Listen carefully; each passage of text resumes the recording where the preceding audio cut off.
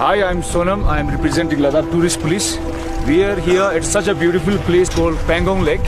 Pangong Lake literally means high grassland lake. It is so clean that one of the cleanest lake in the whole world. So I urge you, it's my humble request from the people of Ladakh and from the tourist police under the guidance of uh, our senior officers. So uh, it's my humble request, you're visiting such a beautiful place. Many people are coming here littering around, throwing plastics.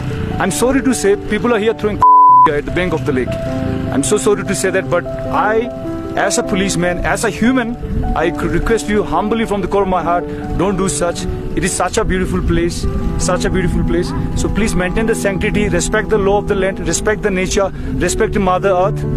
And we have a very beautiful saying, saying called, don't be Gama in the land of Lama. And please, this is the land of morality, land of monk and land of meditation. Welcome you all in numbers with a sense of Atithi Devo Bhava. Thank you, thank you so much, Jai Hind.